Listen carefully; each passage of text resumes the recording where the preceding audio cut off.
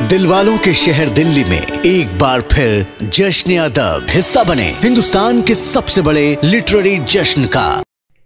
एक नज्म है एक मंज़र है एक मंज़र दिखाने की कोशिश है जब कोई हमारी ज़िंदगी से चला जाता है उसके बाद की अगले दिन उसका जो सुबह होती है वो कैसी होती है। आ, तो आ, थोड़ा रिलेट कीजिएगा। नज्म का उनवान है आज सुबह कुछ अलग थी।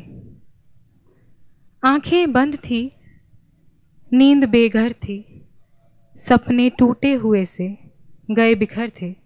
आज सुबह कुछ अलग थी। कान ख्वाहिश कर रहे थे जिस आवाज़ की। कान ख्वाहिश कर रहे थे जिस आवाज़ की।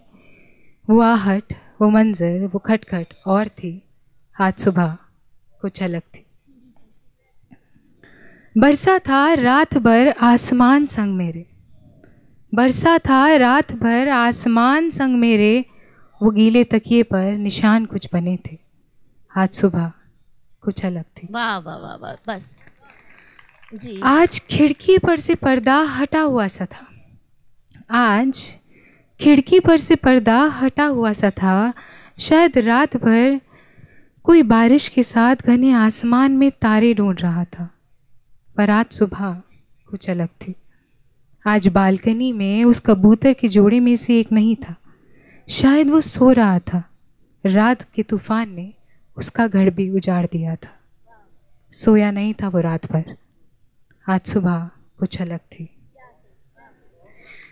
वो बारिश के बाद धरती की सौंधी सौंधी खुशबू आती है ना, वो भी नहीं थी।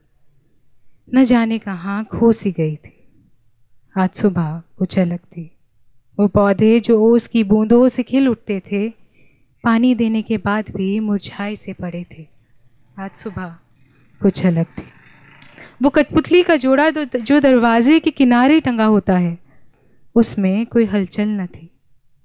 हाथ में जो बांसुरी थी, वो नीचे पड़ी थी।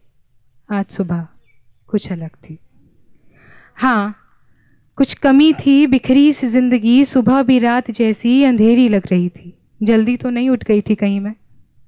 आज घड़ी में समय तो सही था, पर आज सुबह कुछ अलग थी। बहुत शुक्रिया।